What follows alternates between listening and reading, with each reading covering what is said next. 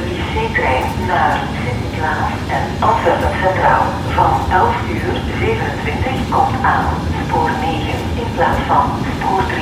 Deze trein komt in Gent-Dampoort, Lokeren, Sint-Niklaas, Antwerpen-Bergen en Antwerpen Centraal.